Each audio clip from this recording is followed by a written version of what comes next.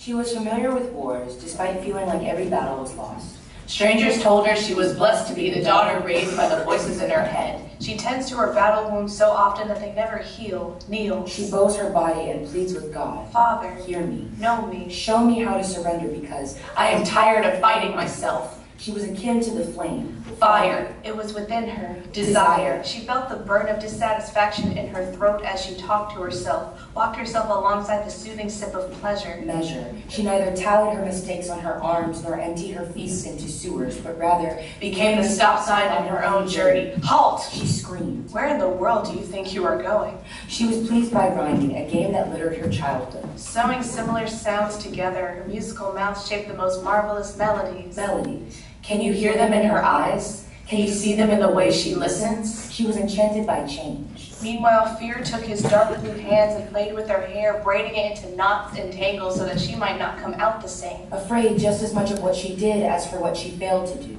She carried self-criticism to see how much she would lock herself for the day, She was a daredevil, daring herself into compassion. Disappointing herself into work. lying herself into happiness. Confused, her shoelaces were tied together around worries too heavy to drag into the future. Too extraneous to lift. Shift. She tried to rhyme herself out of her reality she set up for herself.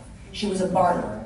She was a heart too kind. Offering pieces of confidence out as concessions, letting the egos of the giant swallow the charisma she once had. Amistad. She befriended comparison, letting him become the thief of her joy. The glutton of her guarded heart. Sharp. She broke, Scattered. She let the wind carry her, for she was too tired to fight her own battles. Wounded. The salty tears didn't serve her well to clean the gashes she groped. She was a sailor. tugging at the billows of her thoughts until they carried her out to sea where people could read them and water them, for they grew into her words. Surrounded by water, she found herself dried up. Words did, they did not come. She She was was silenced by her thoughts. Her growing library of dense self-talk bounded her too often. She was often lost somewhere between identity and responsibility, trapped in the quiet section. She whispers to herself.